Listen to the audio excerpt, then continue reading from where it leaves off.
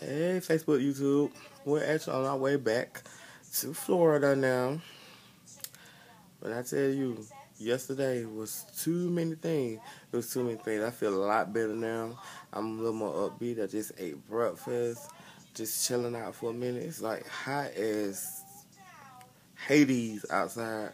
But I'm gonna go out there and do a little running. I'm gonna run today, guys. Get a little exercise. Free my mind, you know, what have you. But, you know, I most definitely be doing this again soon. Made some friends in the Bahamas. So I have friends in the Bahamas. So I'll be I most definitely will be coming back to visit them because I feel like they're my family now.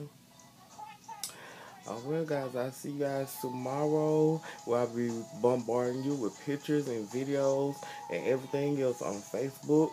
So get ready for it.